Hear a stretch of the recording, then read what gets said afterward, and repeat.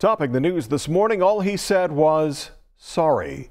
This is Adrian Reyes. The man state police say drove his car into a crowd of people at a fundraiser for victims of the deadly Nescopeck fire. The fundraiser outside a bar in Berwick yesterday, one dead, 17 hurt. Some are in critical condition this morning. Reyes is also believed responsible for a homicide in Nescopeck Saturday evening. The suspect was arraigned early this morning. Newswatch 16's Chelsea Strube has the evening of crime in Luzerne and Columbia counties. First responders and criminal investigators from both Luzerne and Columbia counties filled West 2nd Street in Berwick Saturday evening. Outside the Intoxicology Department bar and restaurant, after state police say a man drove through a crowd of people gathered here for a fundraiser, raising money for the victims of last Friday's deadly fire in Nescopeck that took the lives of 10 people, including three children.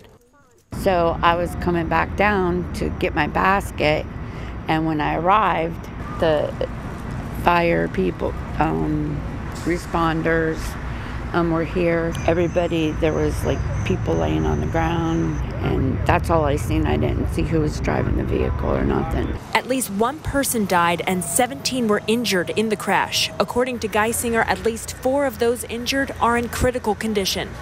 At a news conference, state police would not say if the crash was done intentionally.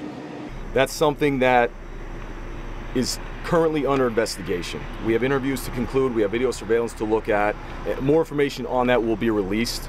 But state police did say they have the man who they believe to be responsible in custody. And they caught up with him after a crash at this home on Ridgewood Avenue in Nescopeck.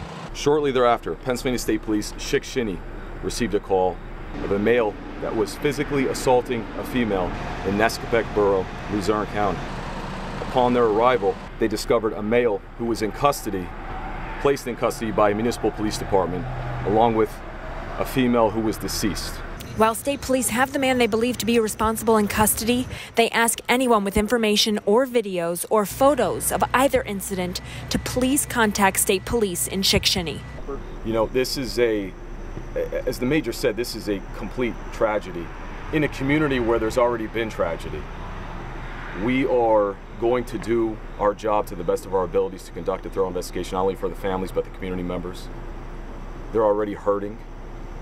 And if there's anything we could do to help those families beyond our investigation, we absolutely will do. It. The restaurant has posted on its Facebook page that it will be closed until further notice as it deals with the tragedy that took place here on Saturday night in Berwick. Chelsea Strube, Newswatch 16, Columbia County.